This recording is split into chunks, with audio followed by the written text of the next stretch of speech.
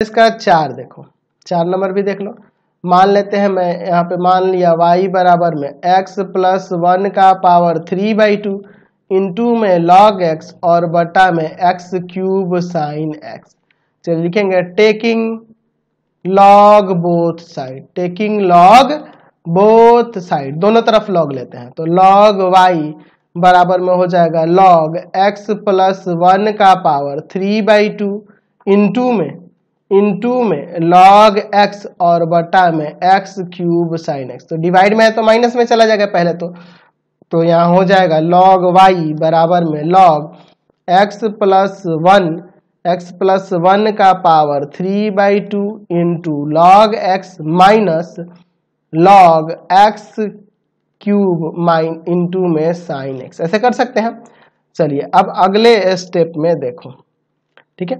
अब देखो, यहाँ पे इंटू में है तो इसे हम लोग माइनस में कर सकते हैं ना? तो लॉग वाई बराबर में सॉरी प्लस में कर सकते हैं। लॉग एक्स प्लस वन का पावर थ्री बाई टू और प्लस में log log X log log X minus यहाँ ब्रैकेट देते हैं, क्योंकि अंदर साइन बदलना पड़ेगा। Log X cube plus log sine X ठीक है?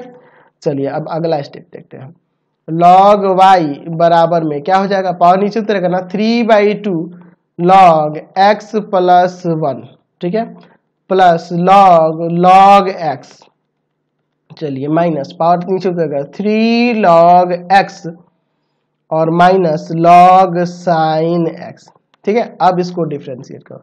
Differentiating with respect to X one by Y into में D Y by D X बराबर three by two into one by X plus one log X का और x का one one का zero चलिए plus यहाँ भी one by log X into log X का फिर क्या करेंगे? One by X minus three into में one by X minus one by sine X और साइन का हो गया कॉस वाई को उधर ले जाकर मल्टीप्लाई करो और वाई का वैल्यू भी रख दो।